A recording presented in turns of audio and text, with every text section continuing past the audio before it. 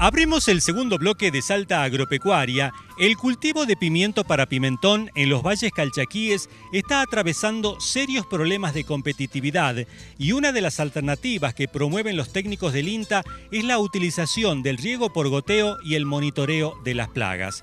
Estuvimos en la sede de la Cooperativa Agrícola y Forestal de San Carlos, lugar donde se desarrolla una parcela comercial de este cultivo y en el lugar conversamos de toda esta temática con el jefe de la Agencia de Extensión Rural del INTA Cafayate, el ingeniero Diego Calman. Estamos en una parcela de pimiento para pimentón, eh, viendo sobre todo el manejo general del cultivo.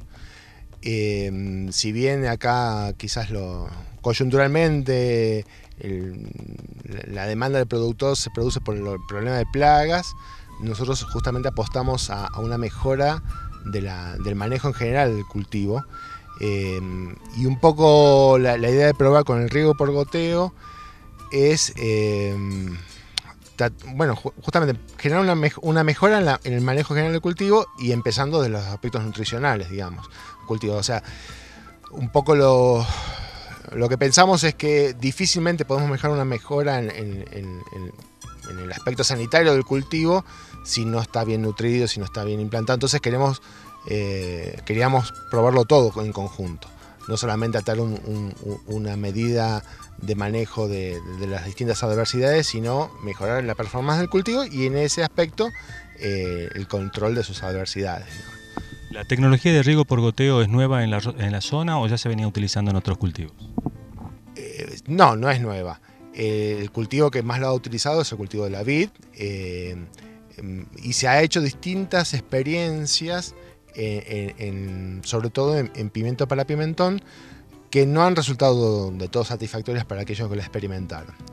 Eh, ahí obedece distintas causas, sobre todo una cuestión de, rentabilidad del cultivo y em, aspectos financieros, digamos, sobre todo, ¿no? O sea que hay que tener mm, buena espalda financiera para afrontar todos los gastos, no solo la inversión, sino los gastos corrientes, digamos, durante eh, el ciclo de cultivo eh, en un cultivo que eh, se obtiene el ingreso, mm, o sea, el periodo de, siembra del almácigo, cosecha y cobro, digamos, de, la producción es, casi nueve o diez meses. Entonces, eso se hace pesado. Donde uno apueste a, una, a, un manejo con mayor requerimientos de insumos, eso eh, hay que considerarlo. Entonces, muchas experiencias eh, mm, vieron una barrera en ese sentido.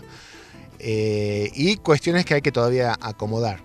Una de las, de las cosas que, bueno, generalmente el riego por goteo está asociado, por lo menos en los valles calchaquíes, a la utilización de aguas subterráneas. Eso te da una disponibilidad y una calidad de agua eh, que permiten implementar bien la, tecnología. Justamente una de las cosas que, mm, que estamos probando es tratar de hacer riego por goteo a partir de aguas superficiales. Y bueno, eh, en, eso va la experiencia, porque justamente eh, es el agua que comúnmente cuenta el, productor pimentonero, que es un productor de mucho menor capital que un productor viñatero, eh, generalmente no dueño de la tierra. Entonces la, propuesta es utilizar un, equipo móvil de riego por que sea trasladable eventualmente de una parcela a otra y implementando una, una dársena para Mm, tomar el agua que viene en el turnado del riego superficial e ir distribuyéndolo a lo largo en, el periodo entre eh, del turnado, digamos, entre, entre, que reciben el agua y que la vuelven a recibir, manejarse con el agua que está en darse nada y se le va suministrando por el riego por goteo. La asistencia tecnológica de INTA también está eh, este, basada en la necesidad de eh, bueno, darle todo lo necesario, el know-how necesario como para poder hacer la fertilización y utilizar en plenitud todo el paquete.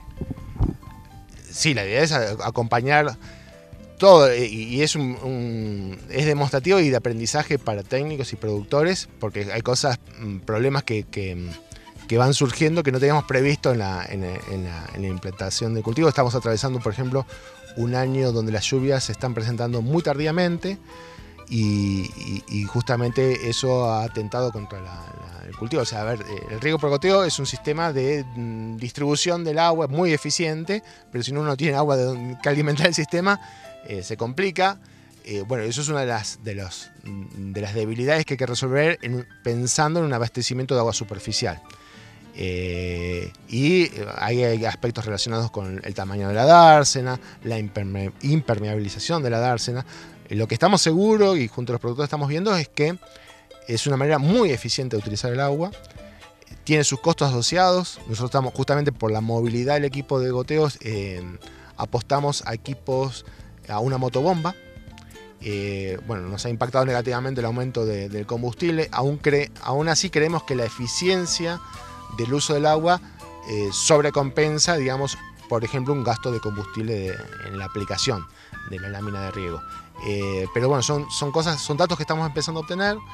Eh, y la idea es tener la, propuesta para ir enriqueciéndola, ir aprendiéndola y, ver realmente, porque ha habido muchas experiencias, ha habido muchas ganas de hacer proyectos de, riego por goteo en pimiento, pero esta es la, una de las prácticas más sistemáticas de, manejo de la parcela. Entonces, eh, que era un paso necesario para saber si realmente la tecnología es viable si convence al productor, si nos convencen los técnicos y, en todo caso eh, después buscar los mecanismos para financiar el acceso a esa tecnología. Pero nos parecía imprudente seguir eh, fomentando o diciendo que se podía utilizar sin, probarla, digamos. Entonces, junto con la cooperativa, eh, estamos dando ese paso, digamos, a, través de financiamiento de, de un proyecto especial de Pro Huerta.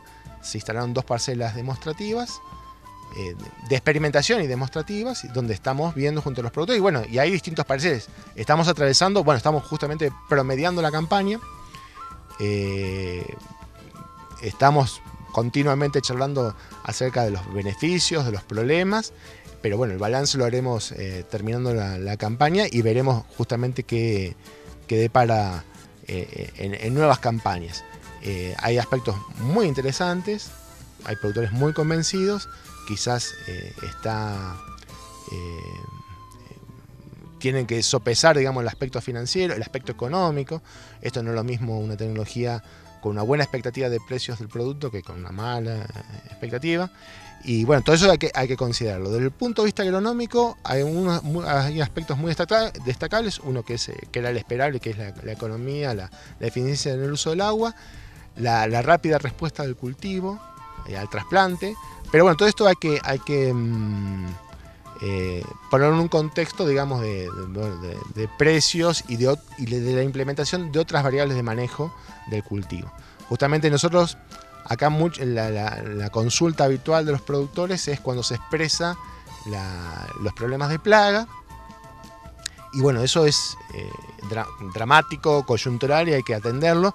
Pero bueno, nuestra contrapropuesta era no solo atender esa demanda coyuntural, sino ir apostar a una mejora de manejo integral donde creemos que eh, bueno, muchos de esos problemas que se manifiestan de plagas van a verse disminuido y bueno, y hay que hacer otras medidas complementarias.